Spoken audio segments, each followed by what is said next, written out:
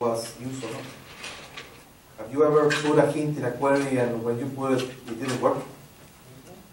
Well, the one zero three can tell you that it worked or not. The only thing they will not tell you is when. But it will tell you if it happens or not. The 10053 also has a very long list of all the fixed controls, as, as Carlos showed you. Anybody care to guess how many fixed controls are in 11203? Hmm? 653. That is how many fixes can affect your, uh, your query.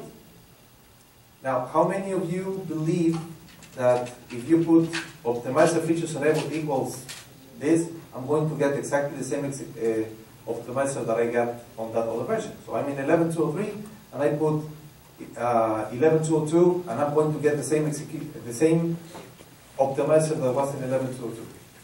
How many believe that? Of course, I'm saying this because it's not.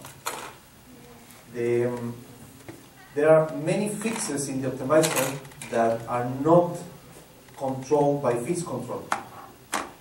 The reason behind that is because many of these are wrong result bugs, for example, of transformations that were not supposed to be done, but in that version were allowed, where they shouldn't have. So there is a fix. That fix came into the new version, and then that uh, yeah, that is not controlled by the by the parameter. So the end result is that when you try to force the same execution that you had in another one, it doesn't. Beautiful. Well, I never got to go. Yeah. Carlos, Carlos, your microphone is on. I know. Okay, so let's continue here. So, uh, so we cover statistics and we cover 10053. So that is kind of heavy general, statistics. Now let's, let's talk about ACS and SQL management so you get to understand how it works. And we will do some some demos and maybe a quiz. No, okay, anyway. So moving to adaptive cursor sharing, 11G, uh, this morning I was asking who was on 11G. So you're on 11G, you are using adaptive cursor sharing. So let's understand how it works. That is part of the SQL Tuning Workshop 2. That is a chapter 03. So I already opened those two PowerPoints. Um, adaptive cursor sharing inside uh, SQL Tuning Workshop 2 and the same for the labs. So in this case, we will do the lab. So I have a setup. So the first thing I do here, I execute my setup. And it's going to say it's going to delete SQL Plan Management. It says uh, it's going to create a user. I already have the user, so we'll try to reproduce the user. Regenerate the user, which is fine. Doing the deletes. It's recreating those objects. It's going to take a moment, which is fine. I just let it run. And I will start with the PowerPoint. So, what is that we have here? What is this? Okay, this is the SQL engine. And when we have the CBO, let me try to explain this. Any application that we have, we issue SQL statements one after the next every single SQL statement it goes through the SQL compiler, and inside the SQL compiler, we have this part here, which is the cost-based optimizer. The cost-based optimizer is reading data from the data dictionary. It's going to, it's going to perform some query transformations. It's going to use the costing engine, and it's going to generate execution plans. Those execution plans, they come in the shape of a cursor, and we populate the cursor in memory. So we put the cursor in memory. We may have for the same SQL multiple um, child cursors, it's fine. We execute one. The SQL, once it's executed, it uh, returns some results to the application. The application issues the next SQL, and it goes on and on. That is basically the cycle. So far, so good. No, no, no magic. And we, we understand this, right? Okay, so what is the question here? Do we want to share or we don't want to share? We're talking this one here. So what are the pros and cons of sharing, of sharing cursors here? Uh, you have to talk, but the pros you don't do hard Hmm? If we share, if we share, that means if we, if we have these cursors here and we share those cursors, we are going to save cycles here. We're going to save CPU, right? As a pro. As a con, we're going to be using memory here. So it's a trade-off. We, we're using that memory that we have that, that's equal here, but, but also in the memory is going to be a, a pro because if we don't share and we have many users trying to execute what it seems to be the same SQL, or we just slightly different literals, if we don't share, we have multiple cursors here, one for each SQL, right? If we share, we, we reduce the footprint here, right? So it, it looks like sharing is a good idea. Why?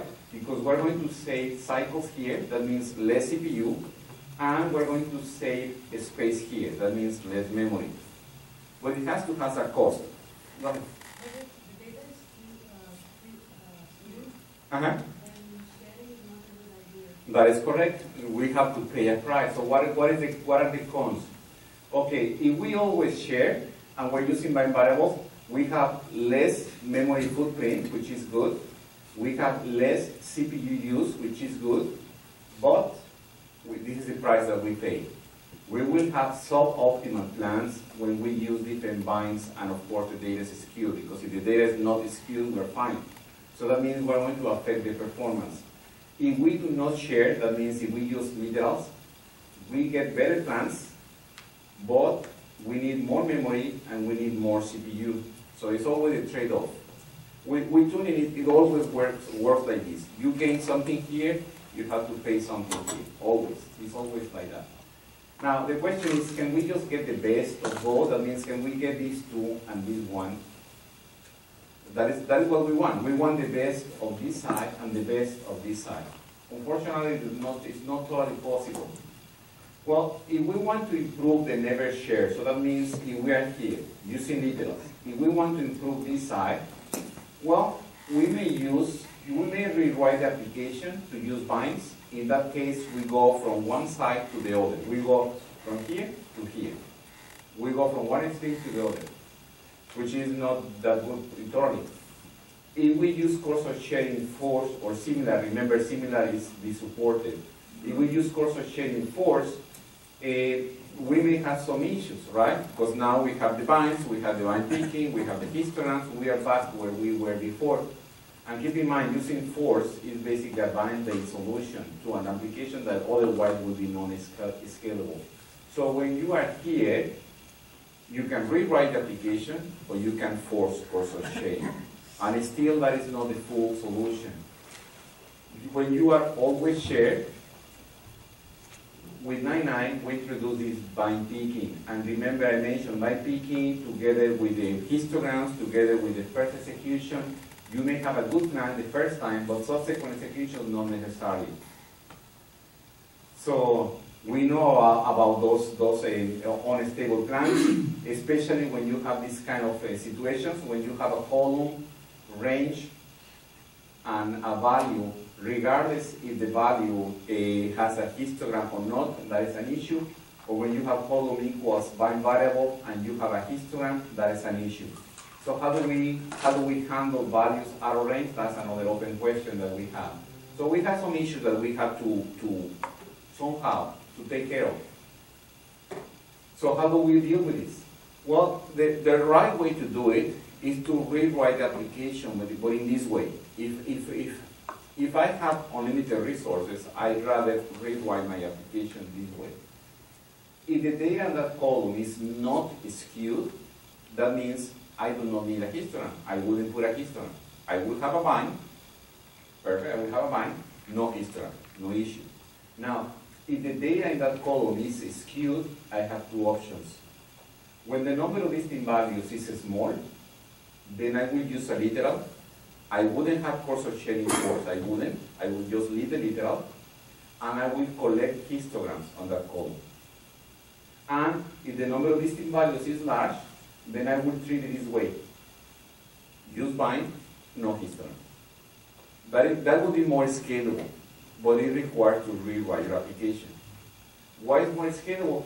Because in cases where it matters, I mean, when you have um, the data is skewed and the number of distinct values is small, in other words, you have a frequency histogram, you will have multiple versions of the SQL. Is that clear? One for each value. And that is fine. That is fine. You have multiple versions, and every version of the SQL with a different value, it has the potential to produce a different execution plan. And that is exactly what you want. So to me, this is the right approach. But it requires to rewrite your application. So you're talking about, here only about equalities or also ranges? Also ranges. Also, well, ranges are, are a little bit different because equalities are very sensitive to histograms. Ranges are not, are not that sensitive to, to histograms, but um, I would do the same for both, I mean, for ranges and equalities. Right, so, so, so currently, before ACS, if I use a range uh, with binds, do I get bind peeking? Yes, So let's say my first query, um, the range is uh, one percent of the data, and on later queries, the range is fifty percent of the data. Wouldn't I see the same problem even with this? even with this, with this, not really. Uh, you apply this one and you're using literals. Imagine that your predicate says column greater than bind, like the one that we have here. Imagine that it's something like this. If the number of distinct values on the column is a small number, less than 254, I will go with this way. Eh, and one here. Use needles and collect histograms. So that means for that, for that one SQL, I will have multiple versions of the SQL and potentially multiple execution plans. And that is what I want. So this, this technique would apply to ranges and equality predicates. And it has no dependencies on ACS. I'm still trying to understand. Let's imagine that I have a table with millions of rows and thousands of values not skewed. Um, If I say date equals yesterday, that's a small amount of data, and that might be an index pickup, or, you know, date, date greater than twenty-four hours from now. If I say date anywhere in the last year, that might get most of the table and want to do a full table scan, even without skew. Yes, you will, you still have an issue with, with, when, because you are not here. In that case, what you are saying is, I am either here or here, that the issue still persists. Okay. Yes. Yes.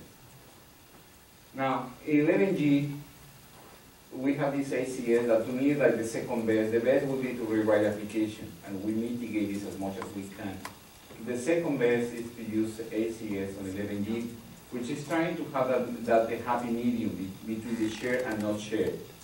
When I say it attempts this happy medium, is because like every technology is not perfect. It has some, some limitations. It cannot give you absolutely the best of both. It's going to get closer to give you the best of both. Which basically means you will be able to generate multiple optimal plans for a, for a single SQL. On 10G, we don't have this, multiple plans for a given SQL at the same time. So that means in memory, with 11G, we can have for the same SQL, plan A and plan B, and both are optimal. For, for different predicates, both are optimal. Is, is that clear? Any questions here? Yeah, go ahead. Yeah, so the, uh, number of values is large, use of variable, wouldn't that still be a problem?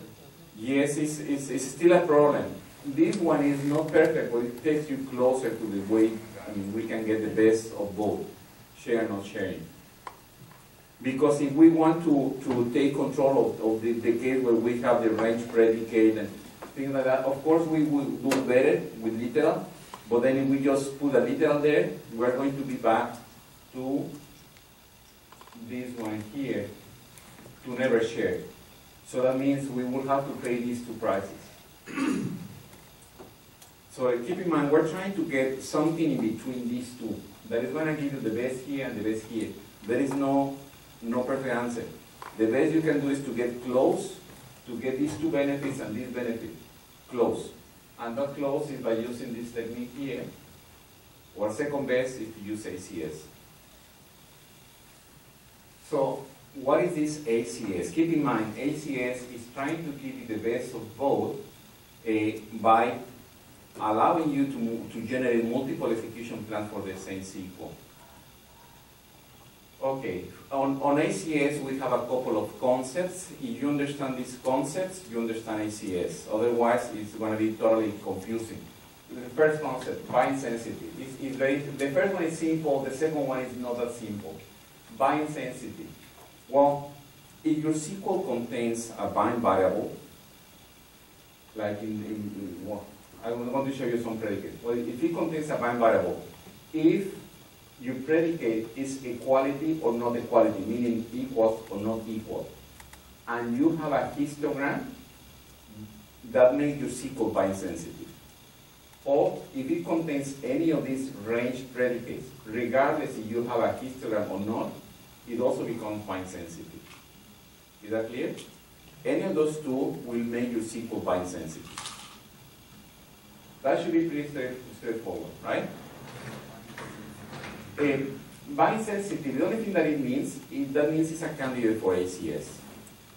Why? You don't want every single SQL to be a candidate for ACS because ACS is going to be expensive. It's going to consume a lot of resources.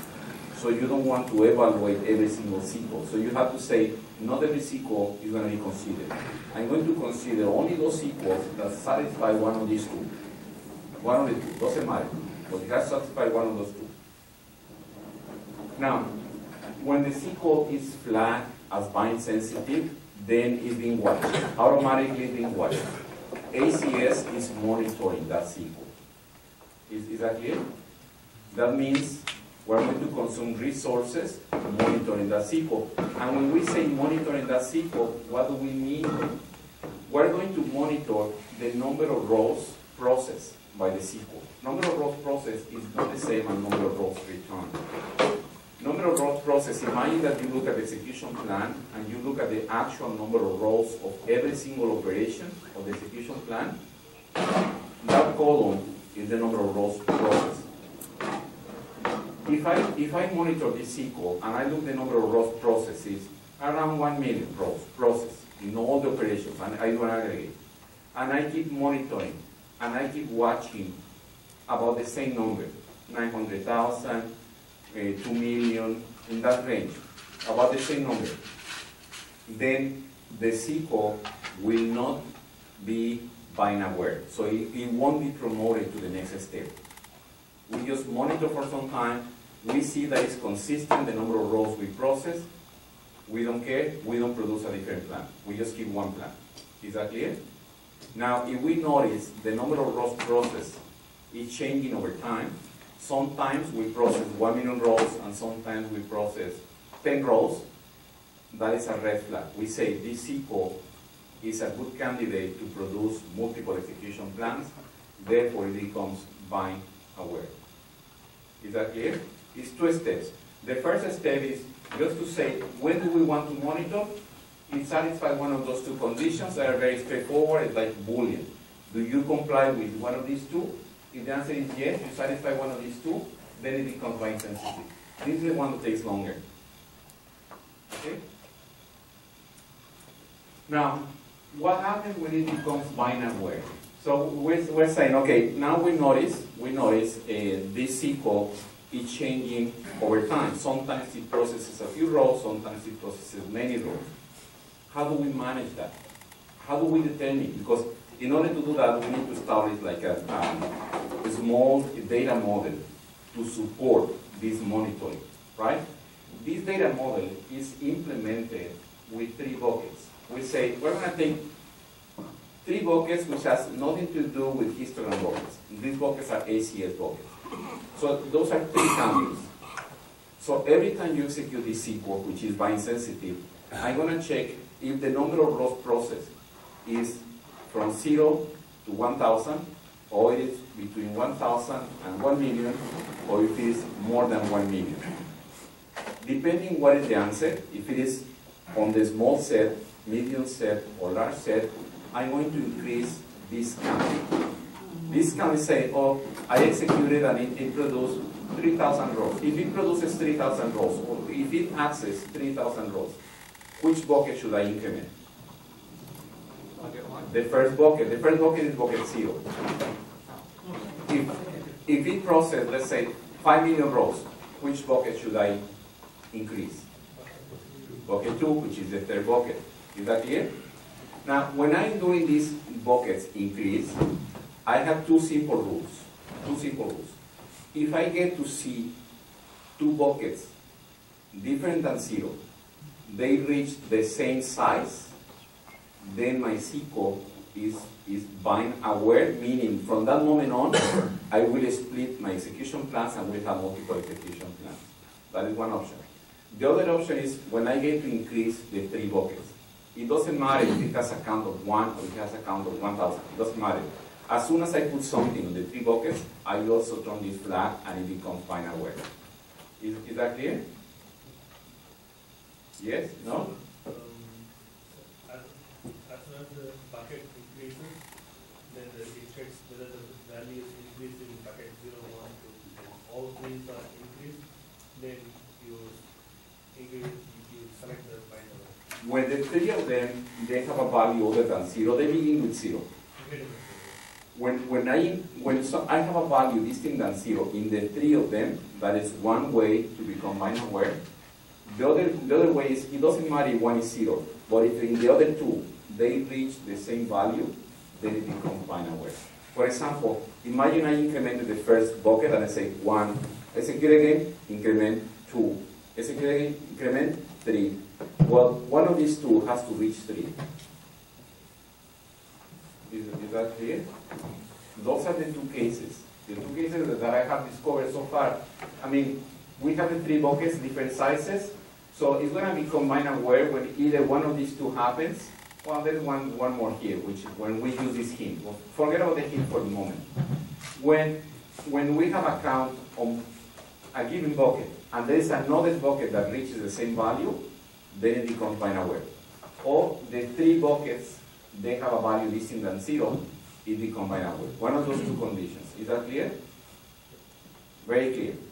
Okay, because we will, we will see this, and I will going to ask you, what, what do you think? When it's gonna come and become bind aware? Yeah, go ahead.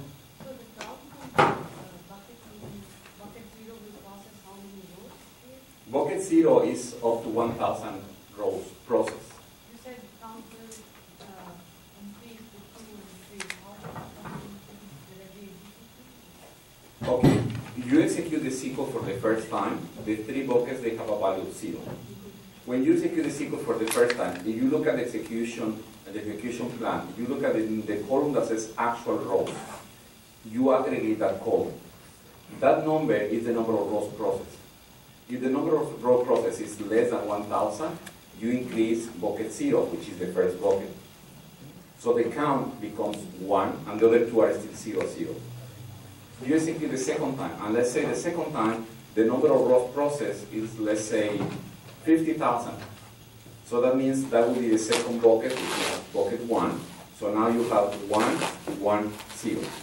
When that happens, these two, they have a value one. At that time, your SQL becomes bind aware. So that means the next execution is going to start splitting plans. You're going to say, okay, the third execution now I'm going to start creating multiple plans for my SQL. When that is the case, when I say now I am bind aware, I'm going to start creating multiple plans, how do I control those multiple plans? That is controlled by something that is called selectivity profile.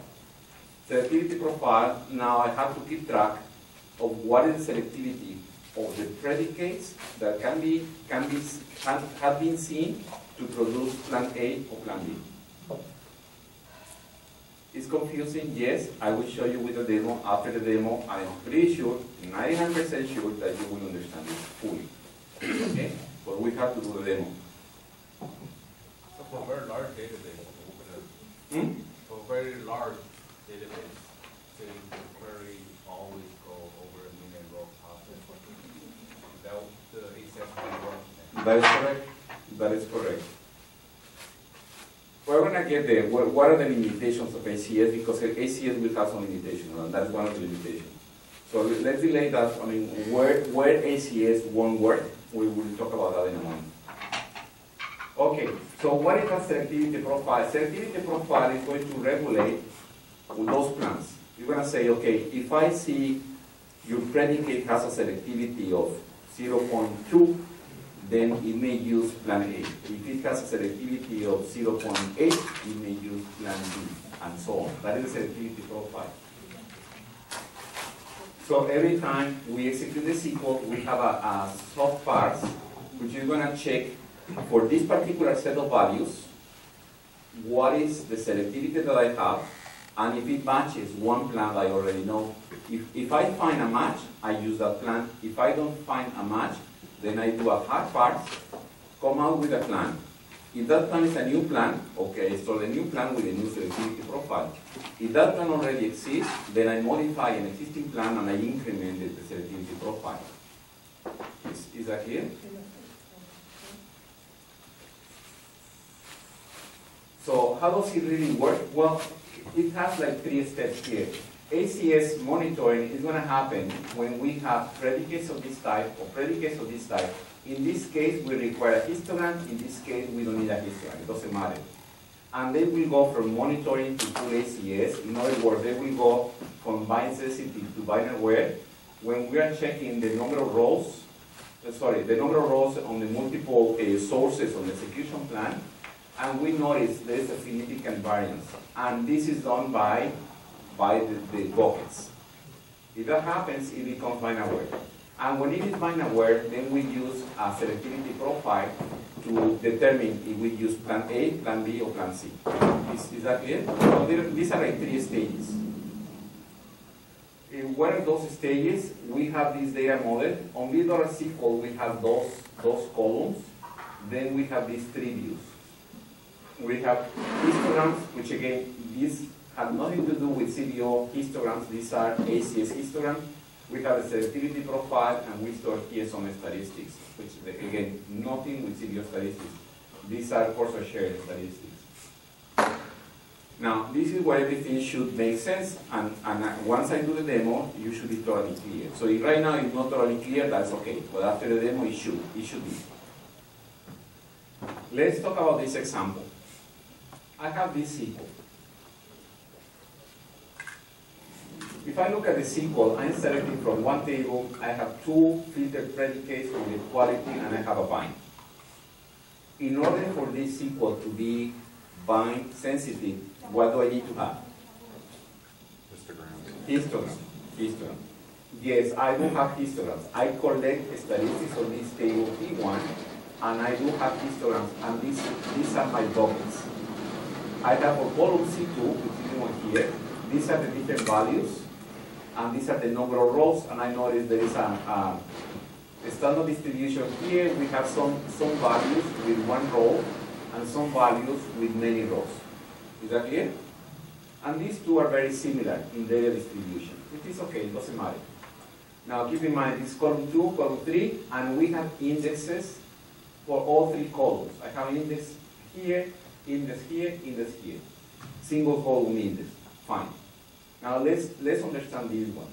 This is the name of a script. On the script VB1, I'm passing here, on this bind variable, I'm passing the value 0. And in this bind variable, I'm passing the value n. In other words, I am passing this value and this value. Okay? So that means, that means the selectivity for the first predicate, the selectivity of this one is going to be this number. I have 1 million rows. So when I take this value and divide it over 1 million, I get this value, which is very easy to see. Is that clear? Mm-hmm. So that means with the first, with the first script, passing these two values, this is the selectivity of the first predicate, and this is selectivity of the second predicate. In that case, even though I have indexes, what would you expect? Full table scan, or you were expecting an indifferent scan? Full table scan, right? Everybody agrees that we have a full table scan here? Yes? Anybody thinks that we shouldn't have a full table scan? No, we, have an agreement, right? So we are DBAs here where we, we see that we are reading like 38% of the data, 38% of the data. It doesn't matter which index I, I may want to take, I'd rather do a full table scan. So far so good? What happens with the second set? I have 5 and I have n. 5, n. Index on column, right, the full table. Index on column. Column two. Everybody agree with that? We don't need a CBO. Right? So we can figure this out, right? What happened with the next one?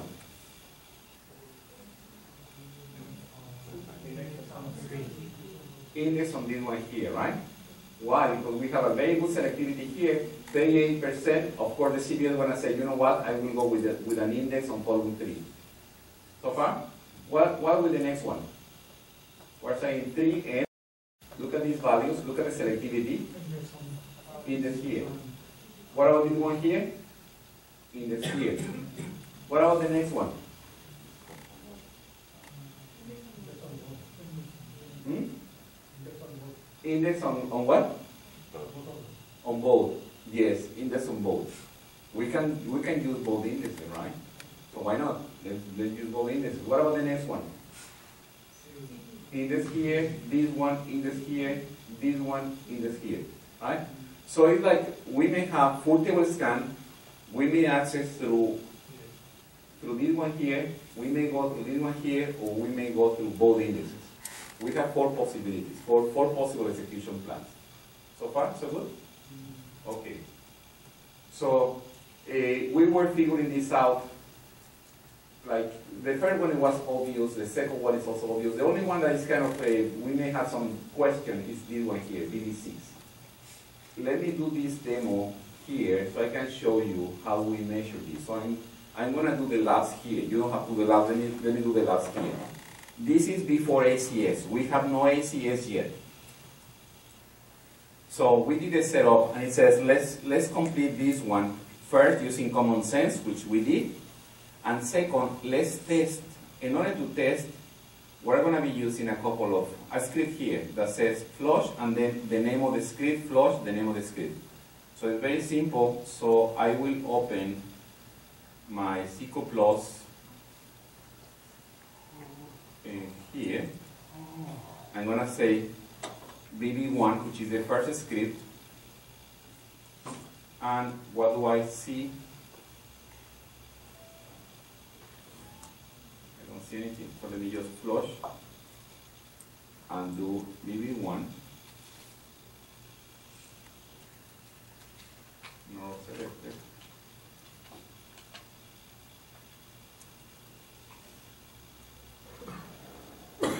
Oh, Connect as the right user.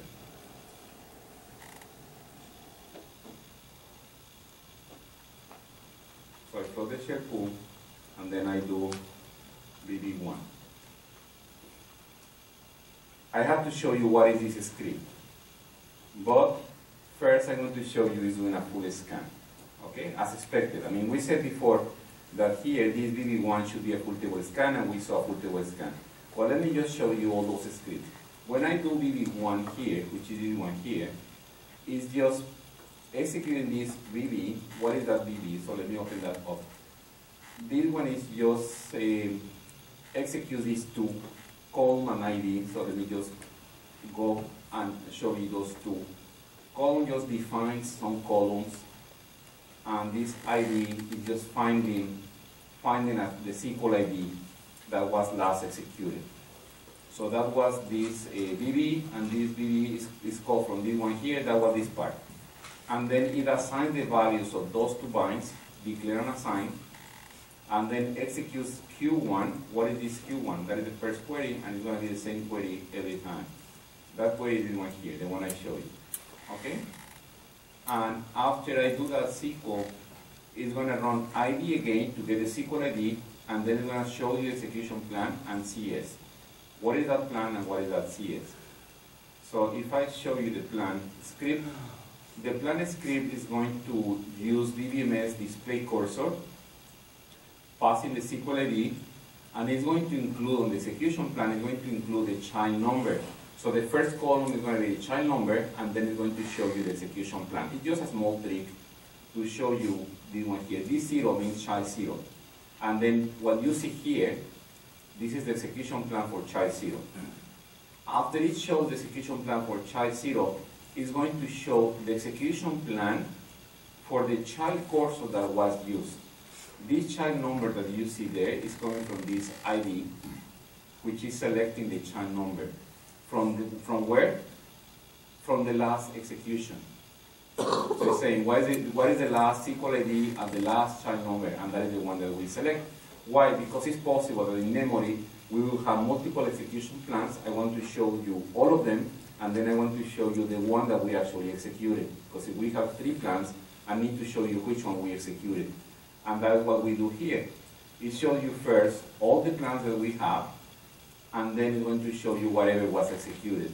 When we have only one plan, it's going to be the same.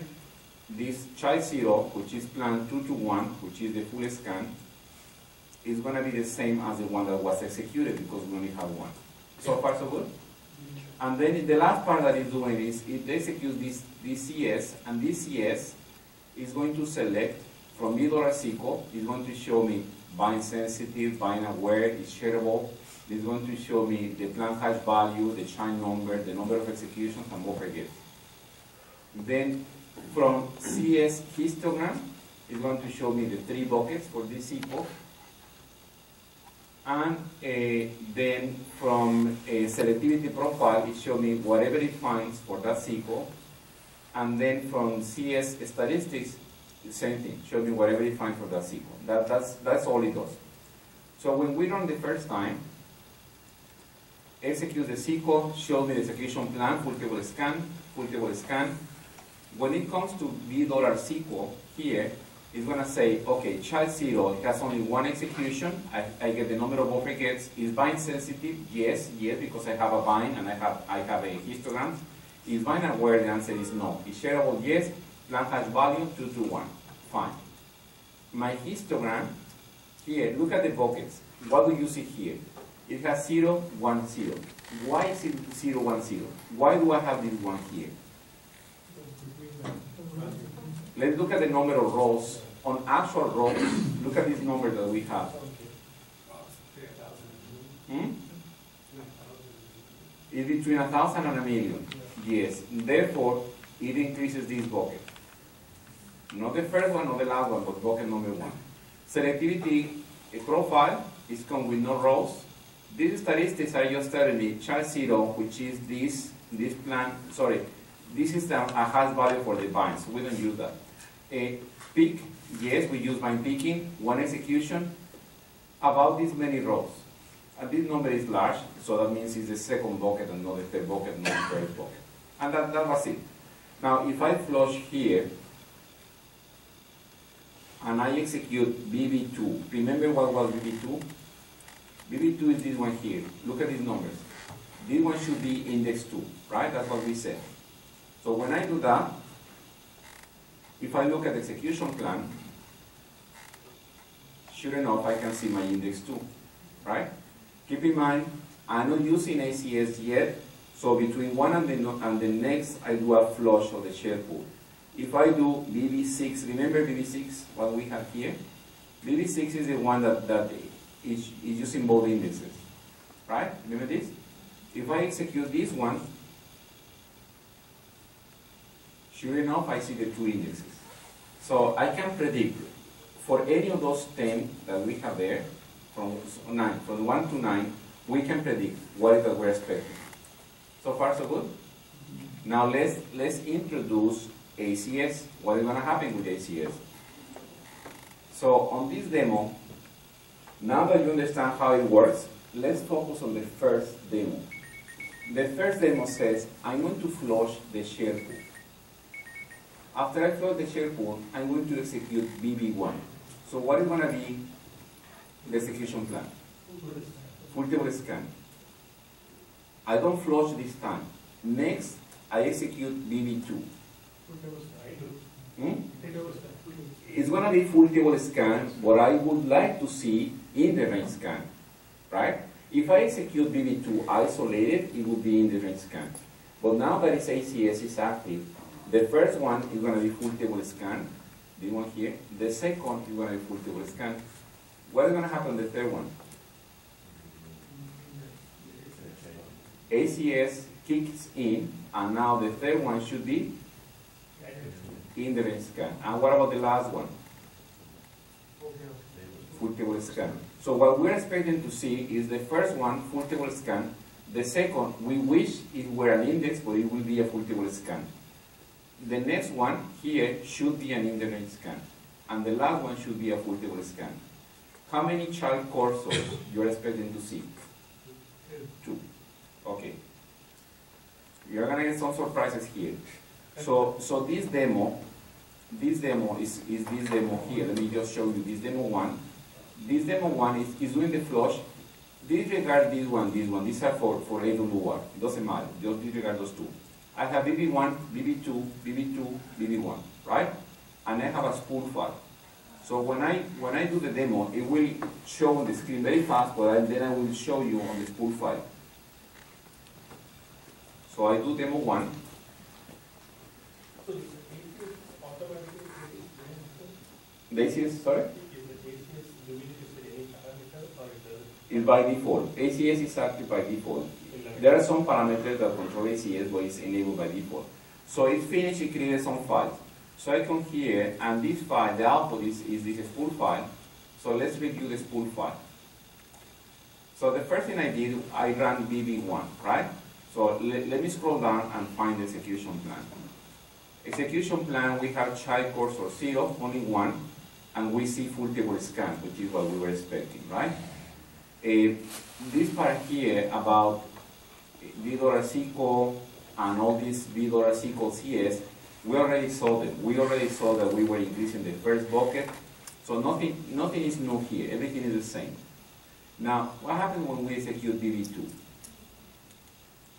When we execute BB2, let's, let's see what's going on. We, we set up the values, we execute BB2, and we get the SQL ID. Look at this one here. In terms of execution plans, we only have one execution plan, which is child zero, which is full table scan. Fine. We're, we're, we're in the process of warming up ACS. So we knew that for this execution, we will use full table scan. Even though we wanted index range scan, it will use full table scan. So we see that, that the execution plan that was actually used was full table scan.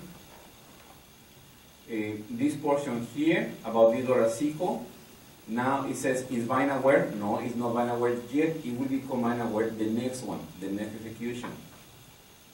So look at the buckets here. What do you find here? Equal count, these two. So this is the keyword here. When you have this one one, the next execution is going to be bind aware. Therefore, it's going to split the execution plans. Is that clear? So we see that here, selectivity profile, no rows yet, nothing is, it- it's just, this one is going to kick in the next execution. Nothing changes here. Now, when we do BB2 for the second time, so basically, we're talking about this one here, so we're here, now we want to see index range scan. We're doing this for the second time. Down. Now look at this one here. One. What happened to child zero? That plan disappeared. Child zero is, is gone. Why? This part, when, when we display the execution plan here, which is this one here, we're saying when shareable equals yes. So cursor zero becomes non-shareable. We cannot share that anymore. Once we switch to ACS, we basically, we don't share whatever we had before. We start fresh. So let's continue checking this one. We, we saw child one and is doing index range scan, okay? That was the plan that was executed, fine. B dollar now we have two rows, right? Child zero, but when we look at the column that says bind is shareable, child zero is not shareable, but child one is shareable. And we have a different execution plan. Two to one is the one with the full table scan. Nine by eight is the one with the index range scan. Okay? So now we have two child cursors. One of them is not shareable, the other one is shareable. When I look at the histogram here, what do you notice here? How do you read this part? You had seen this before, right? Child zero was one one zero. So what happens is, child zero, we, we say this is not shareable anymore. We cannot go ahead and modify that. But now we can modify child one, and we need to start from scratch. We start with one zero zero. But now from this moment on, it doesn't matter what we have here, because the switch is on. Bind aware is already active. So it really doesn't matter what is the content of this histogram, because bind aware is already, the SQL is already bind aware. Okay? Now, what we notice that is gonna be different is this selectivity that we have here.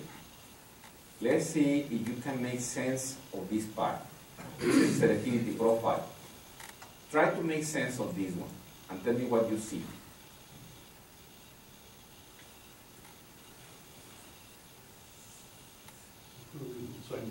P2 is highly selective, P3 no. That means if the next time I part is equal, if the bind that says equal B2, the selectivity of the value that I pass is within this range, between 0.00003 and 0.0044, plus this other bind has a selectivity within this range. If the answer is yes for both, then I can use the same plan. If the answer is no, then I have to hard parse. Is, is that clear? Remember those values? Uh, look at this B2 and B3. Let me show you this B2 and B3. Look at this value and look at this value. Okay? What you see here is a range that includes those two values. That means if I re-execute another SQL that may have different values of the binds, but if the selectivity that I pass for those predicates is within those two ranges, I can use the same execution plan. Is that clear? Then what happens next? This one about the totals, I noticed the number of rows was large, the number of rows now is small. Actually, if I look at the execution plan and I look at the actual rows, the actual rows is very small. Okay? Therefore, I am on bucket zero. But, but that doesn't matter anymore because once it's bind aware, it's bind aware. So I, do, I don't care about the buckets anymore. Now I do care about the selectivity profile. Now what happens when I execute the SQL one more time, passing BB1? Remember BB1 was the one for the full table scan. Remember that? Yeah. So what happens in that case? Now look at this value here. I have child 1, now I have child 2, and child 2 has a full table scan. Okay? So right now I should have child 0, child 1, child 2.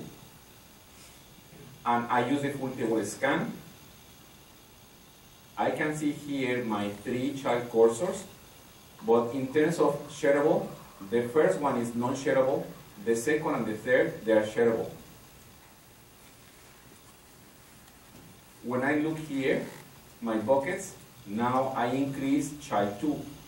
It doesn't matter what I have here, I go ahead and create child 2, and it has 0, 1, 0, which is very similar to what I had at the beginning. At the beginning, is the one I implemented. And what do I see on my selectivity profile? Look at this one here. This child 1, this child 2. Child 2 is going to say, if you, your selectivity profile is between this value and this value for B2, and between this value and this value for bind 3, then you use the child. Is, is that clear? And keep in mind, those values include this range that I have here.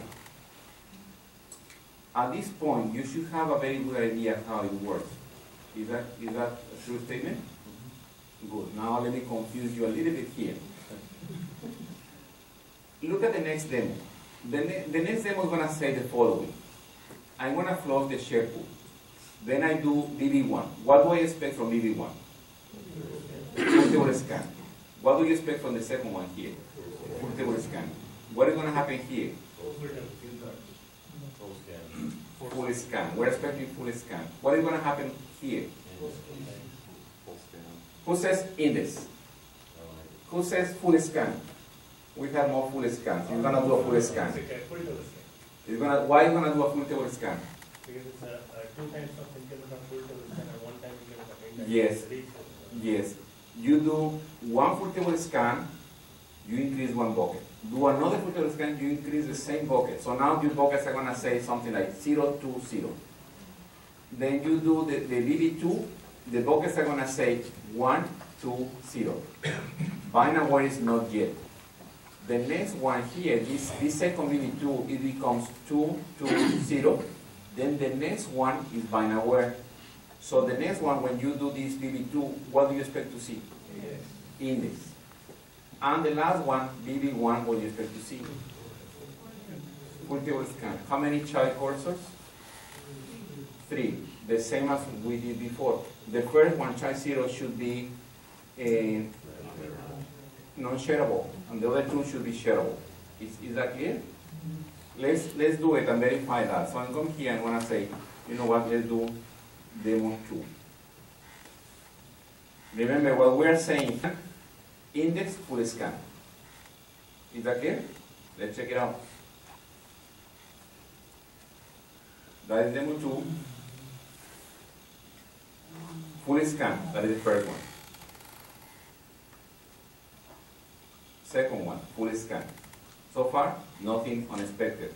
Af- After I'm going to show you the buckets, the bucket we have is zero to zero. The next one, we should see full scan, but the bucket should be one to zero. Full table scan is here. Buckets, one to zero. Next one, we should see also full table scan. Now the bucket should be two to zero. Two to zero. Okay? The next one, now the next one is gonna be which one? We have done, all- the next one is gonna be this one here. We should see index range scan.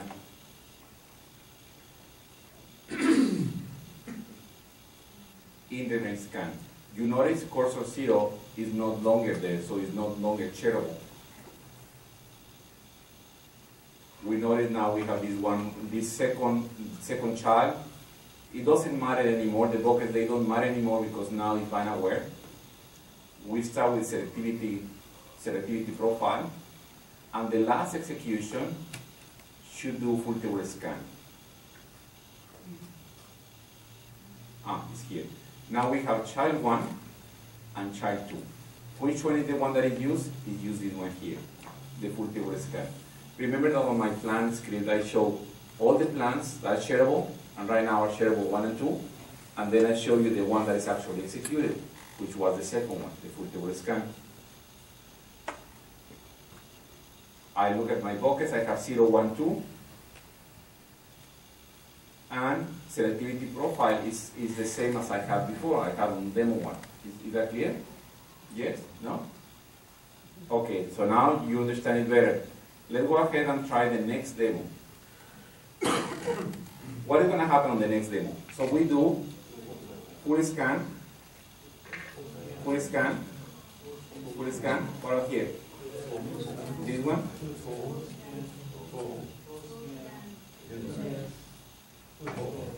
Yes, and it works like that, so you get the idea. So that means, you know that it depends how you warm up ACS. It may kick in immediately, or it may take several executions to kick in.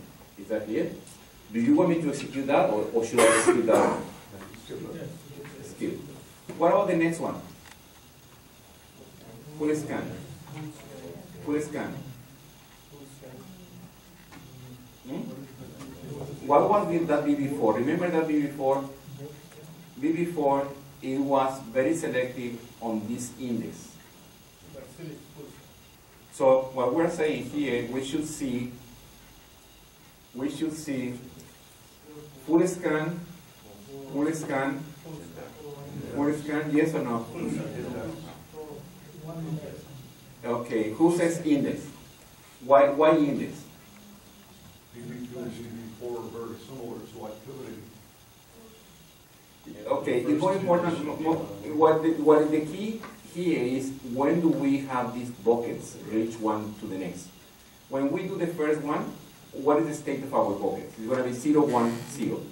When we execute this one, what is the state of the buckets? One, one, zero.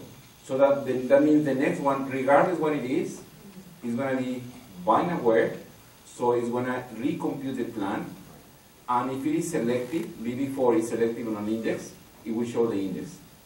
Is that clear? What about the next one, BB7? Remember BB7 what it was? No, the index, the, the two indexes that was BB6. So I don't remember what was seven. Seven was very selective on this same index. So it should use also index, right? So we're saying we should see full scan, full scan, index, index, index, full scan. Do we do this? Should I demo this? This is demo four.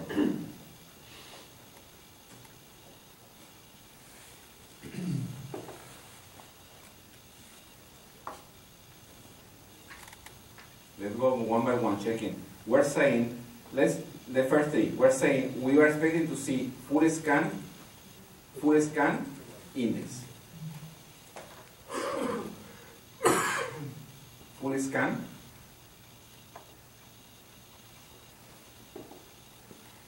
Full scan.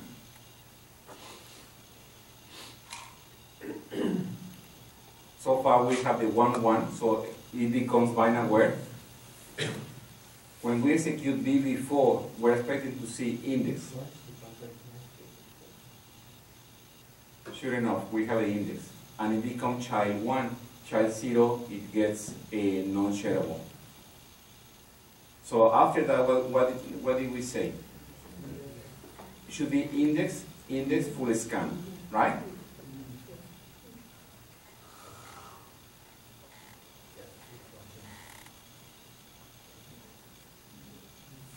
index, what is child 2, child 2. So what happened here is using index, which is correct, this is what we were expecting. But one thing that we were not expecting is it going from child 1 to child 2. Okay? I will explain why. So if we look here, is shareable? No. Is shareable? No. The only one that is shareable is the third one. So it, it, it made the second child, which was the correct plan, it made it non-shareable. Can anybody tell me why? Why that? Why this one became non shareable and it creates a new a new child cursor? Maybe the first one is just created without the Hmm? The first one created with uh, shareable. When this one was created, it was shareable. But when this one was created, it flagged this one as non-shareable. Why? The selectivity profile. Selectivity profile. Because when we ran that, that the one that created this one here, it couldn't find a match on the selectivity profile, so it hard parse, created a new execution plan, but guess what? It happened to be one that already existed. So it took the profile from, from, the- from this one here, from this child, it copied the profile and aggregated the new, the new selectivity profile. Let me, let me show you. Let me show you what, what, why, why, why I say so. Look at this child one and child two, and let me show you selectivity profile. When we had child one, this was the profile. What you see here in the profile. Now that we have child two, guess what? These two lines, they will carry over.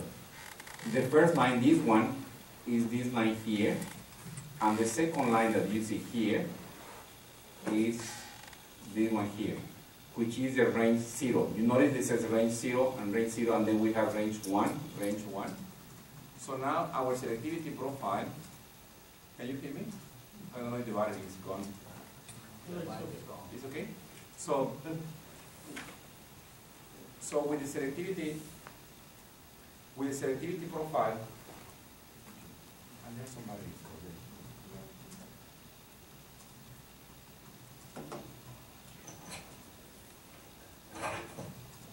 there. That better? Okay, so, eh, with the new selectivity profile, we, we took the selectivity profile of child one and copied it over to child two. Now, child two contains the two selectivity profiles. Over time, we're going to coalesce these selectivity profiles. If, if we start noticing these, these profiles, they, they begin to, to merge or they have an overlap, we're going to coalesce and then we'll have only the, the big range. Is that clear? But every time we have to change the selectivity profile, we make the cursor non-shareable and we create a, a new cursor. Is, is that clear? So think on this in terms of a, a overhead. During the warm-up, ACS will have a lot of overhead because every change that we, that we do, I mean, every time that we change the selectivity profile, we have to recreate the cursor as a new child, copy everything over, and make the prior one not shareable. Is, is that clear? So this activity happens in the cost-based optimization, uh, on the SQL engine, right? This It's, it's part of the parsing process. process. Not necessarily it's part of the CBO, it's part of the parsing process. Okay, so um, I think you got the idea of how it works. I mean, after this example, it should be pretty clear how it works, right? And this portion, it doesn't matter anymore. I mean, it, it continues working the same way, but it doesn't matter anymore because once bind aware, it will, it will continue being bind aware. So the buckets are just to make it bind aware. After it becomes bind aware, what matters is this portion here. Now look at this one here. Wh- What is this child number three? What do you think is this child number three? It copied over. I mean, when, when we be executed, if we look at the sequence that we have here, we did before seven, two, they have different selectivities, right? They, they use the same plan, therefore they will have the index scan. But the, each one of those three, they have different selectivities. Therefore, on the selectivity profile, we should have three ranges. Is that, is that clear? And those are the ranges that we see here. We see range zero, range one, and range two. For each of these, for bind two and for bind three. Make sense? Okay, so you have a very good idea how it works. Now, let's continue here. Look at this other example. This other example is, is based on the same data. We have a select on T1, and we only have one predicate, C2 greater than, than this bind. And we only have these four scripts. Script 21, 22, 23, 24. We pass different values on this V2. We pass the value 4, 3, 2, 1. If we want to compute the cardinality, we just need to look here at the histogram. When we're passing a value of 4, that means C2 greater than 4. C2 greater than 4, that basically means 5. 5 has a cardinality of 4, that is this 4 here. When we say greater than 3, this one here, this 3, that means 231 plus 4, which is 235, and that is selectivity, and so on. If you notice, selectivity goes from 0.0004 up to 0.06%. The first one, you, we should have an index range scan. The second one, we should have a what? In the range scan. The third one, index. And the last one is getting close, so that, that be before we can, we can test isolated, we can say flush, and then we so we do BB twenty-four, and what we get is full table scan. So we know this, this test is simple, 21, 22, 23, they should be index range scan, 24 is full table scan. If we are not sure about 23, we can flush the share pool and do 23, and we're expecting to see index range scan, which is fine, right? So we we already proved here that we will have index, index, index, and full table scan. Keep that in mind. Only 24 is full table scan. That part is done, fine. Now we're doing those, those labs that we have here, so I'm going to jump into those labs. That is done, done. Now, this is the part that becomes a little bit tricky here. But now that you understand how it works, you may get this right, may. Look at the first, at the first set. If I flush the share pool, if I do BB21, what do you expect to see? Index. Here, index, this one, index, this one, index, right? Here the question is, what is the end result? What happened on the last one? So you are saying that we're expecting to see index, index, index, index, right? So I'm gonna do lab 05A, which lab 05B,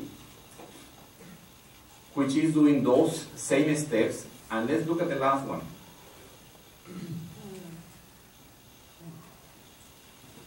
Full table scan. Why is he doing a full table scan on the last one? We were expecting to see an index. Hmm? No, range, it doesn't it should work the same way. What uh, we're saying, we were expecting to see index, index, index, and then index, right? But we see a multiple scan. So what do you think happened differently here? So something is different, right? The bucket, Hmm? the bucket. The buckets, yes, the buckets. When we start here, the first one, index scan, our bucket should be like what? One zero zero, right? When we look at the buckets, it says one zero zero. What happened to the next one? The next one is also doing index scan. Let's look at the buckets. One one zero.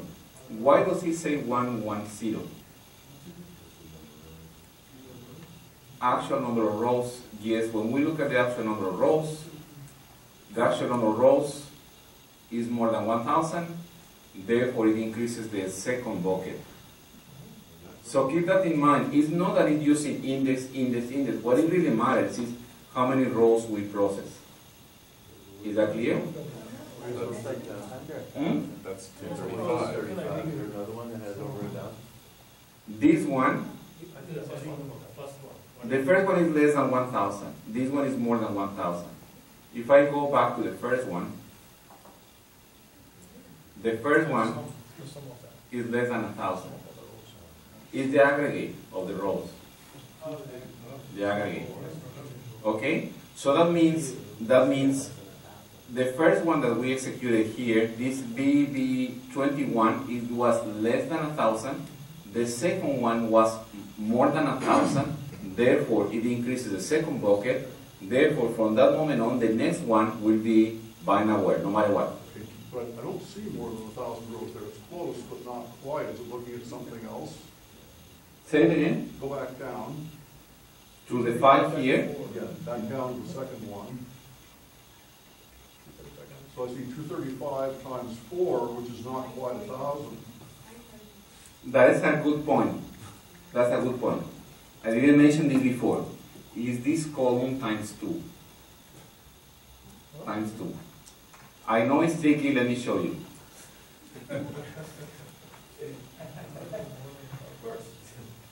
Let me show you here.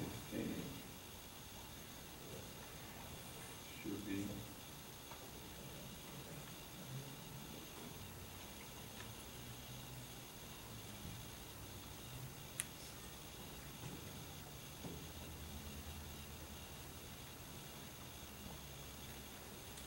It's less than thousand, Hmm?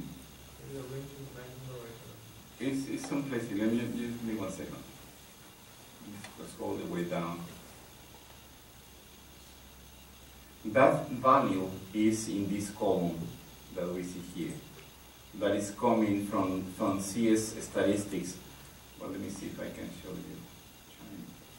Five thousand, this is not four five. Let me go all the way up.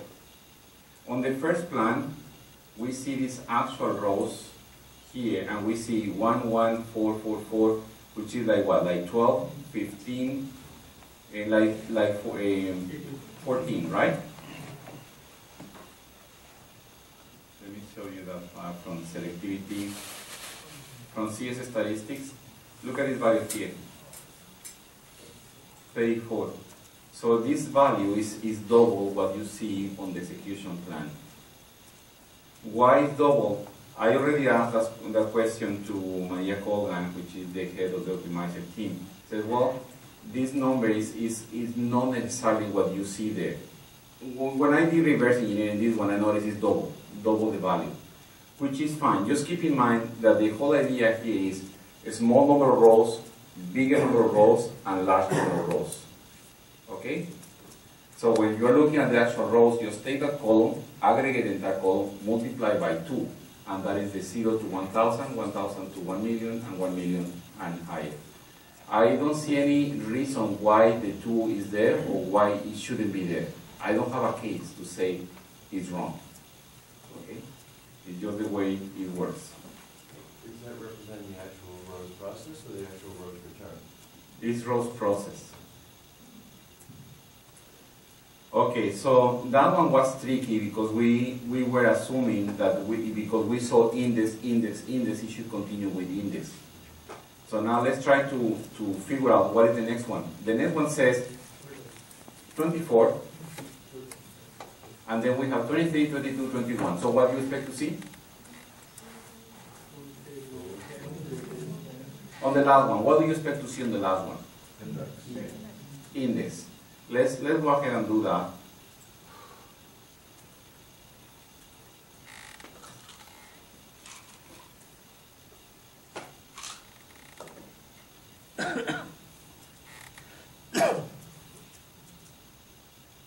Culture scan. Hmm? The last one was full table scan. Why was it a full table scan? Hmm? Say it again? The first equal covers all the selectivities. Let's look at again this one here. We were doing 24, which was large number, right? 23, it was still a large number, but it was using an index, but it was a large number, meaning more than more than a thousand. Okay? More than a thousand and then a small number. So you can see that from these buckets.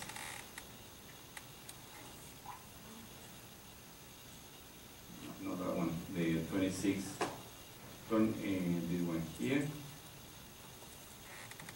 At the end, look at these buckets. One, three, zero. Guess which bucket is the one that we are warming up? Let's just look at the buckets. We warm up this bucket here, okay? Guess, bucket was index scan. it doesn't matter if it was index or full scan, it doesn't matter.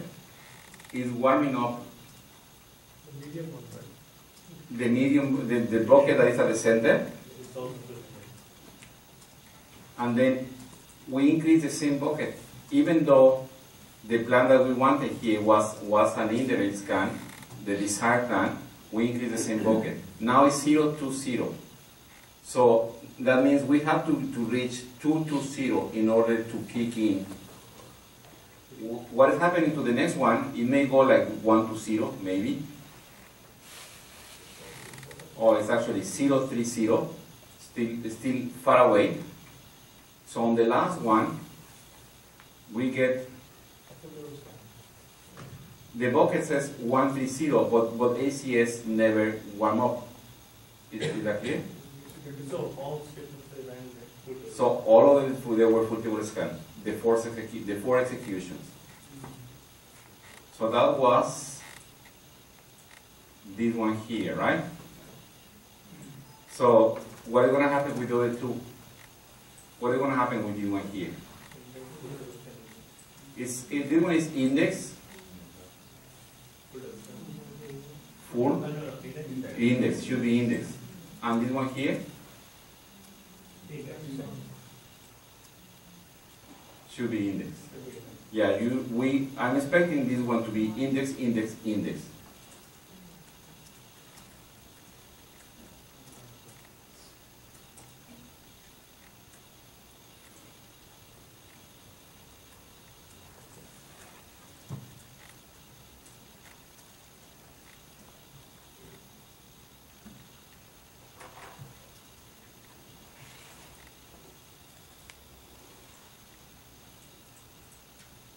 Yeah, it worked fine.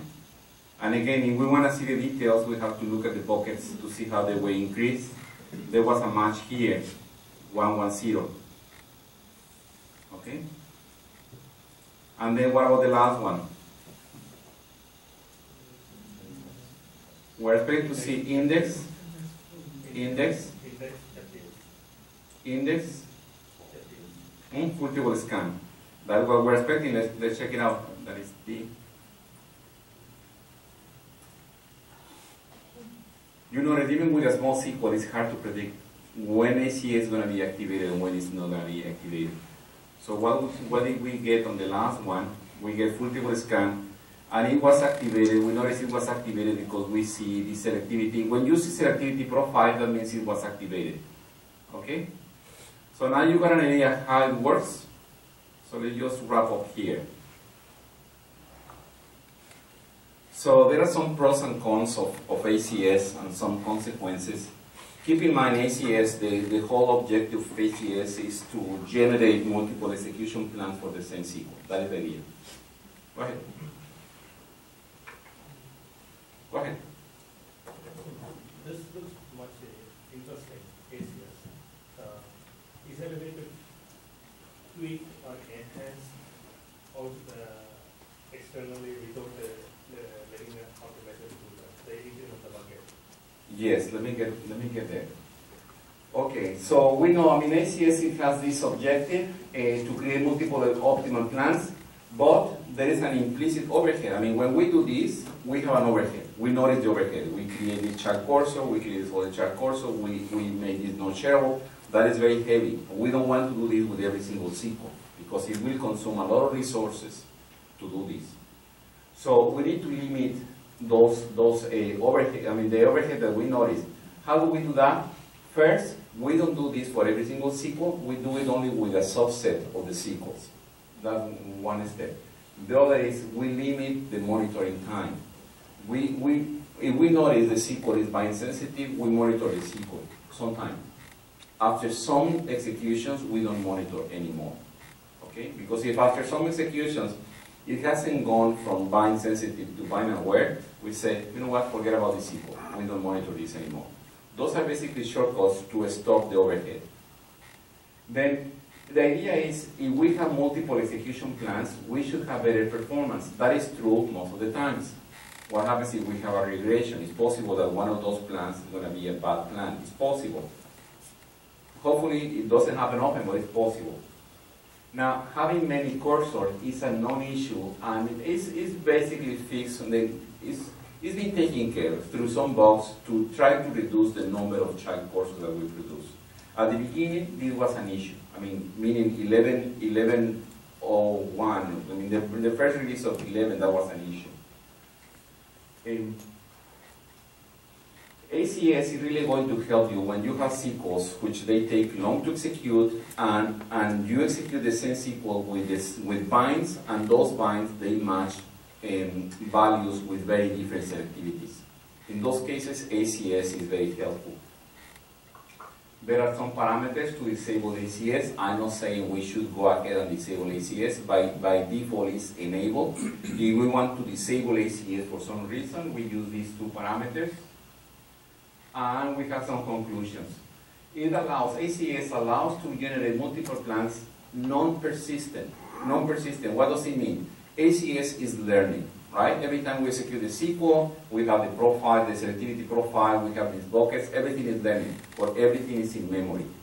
So that means we flush the share pool, we bring the system down or whatever, we lose everything. ACS is gone.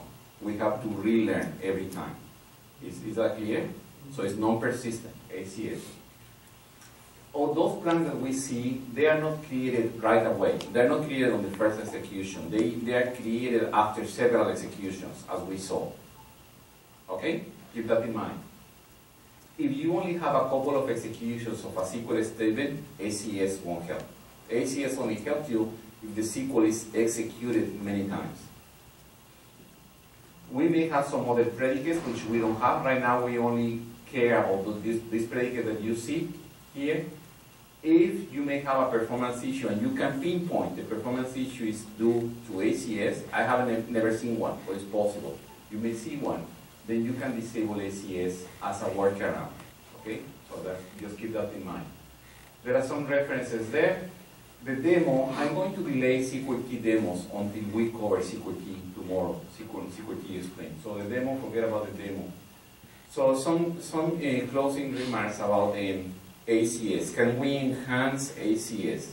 Well, as you notice, ACS has some limitations. One of the limitations is the number of buckets, the way I see it.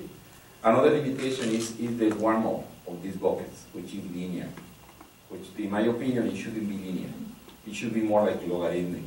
I already opened a Hammer request asking for those two changes. To change the algorithm to not be linear, but being, being algorithmic, meaning if one bucket has a value of 8, a second bucket, if it reaches the value of 3, which I mean 2 to the 3 is 8, at that time it, sh- it should kick in, in my opinion. Instead of being 8, 8, it should be like 8, 3. And the other one is instead of having 3 buckets, I, I think we should have at least 5 buckets. So instead of being like, like 3 orders of magnitude between one bucket and the next, to me, it should be like 2 orders of magnitude. 0 to 100, 100 to 10,000, 10,000 to 1 million, and so on. Okay? Now, when we have this critical SQL, I mean, the SQL statement is, is, is important to us. We don't want to depend on ACS because you notice ACS, it looks like a little bit random. Depending on the sequence in which you pass the binds, it may start or may not start. Is that clear?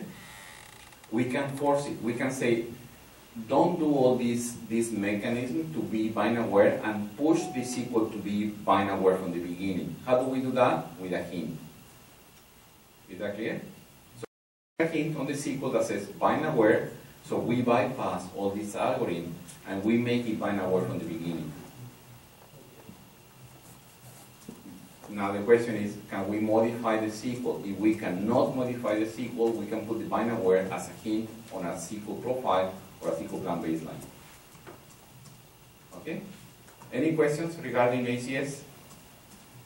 Questions? Question, so there's three buckets, and they're always defined by, the first one is thousand and under, and the second one is thousand, between thousand and a million, Yes. and the third one is Over a minute.